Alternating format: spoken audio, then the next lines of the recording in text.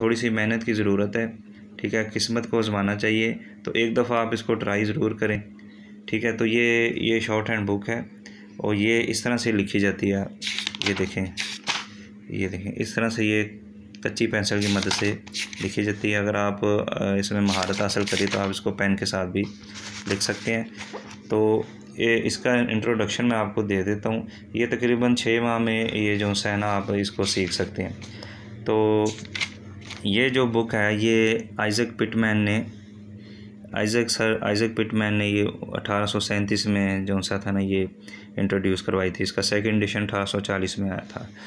तो इसमें सबसे पहले, इसकी पहली सौ एक्सरसाइज आप कर लें तो आपको नाइन्टी परसेंट तकरीबन ये आपको आ जाती है। तो मुश्किल तो नहीं है, लेकिन मेहनत इसमें बहुत ज़्यादा है।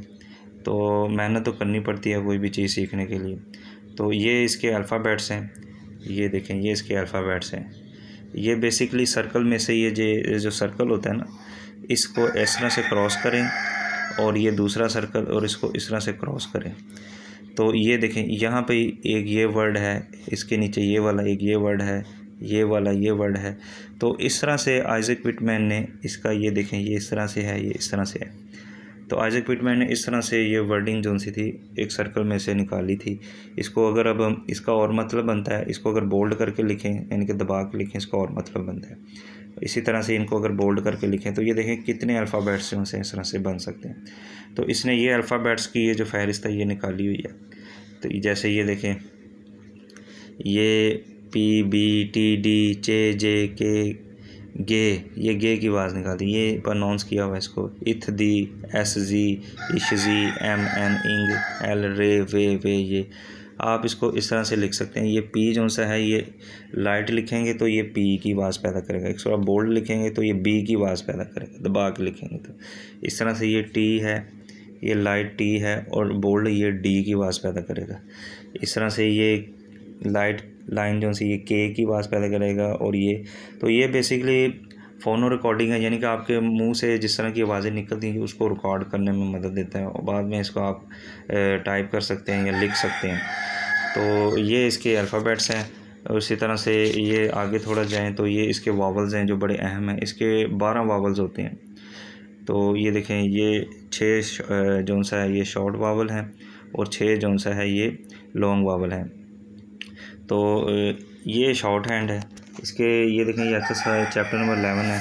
तो इसमें काफ़ी चीज़ें लूप लूप होते हैं। उसके अलावा सर्कल्स होते हैं स्ट्रोक्स होते हैं। ठीक है जी।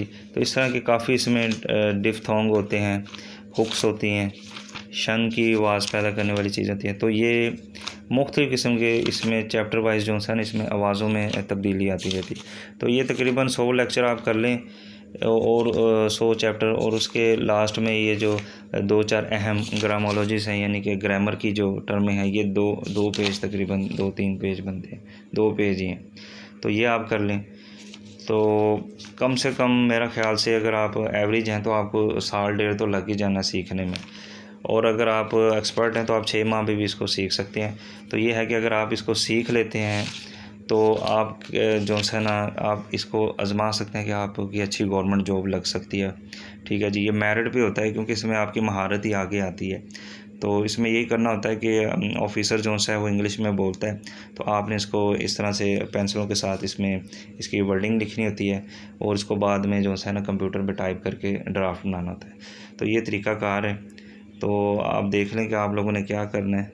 पढ़ना है या फिर ये शॉर्ट शॉर्ट हैंड का शॉर्ट कट जो सा यूज़ करना है। ठीक है जी अलैक्म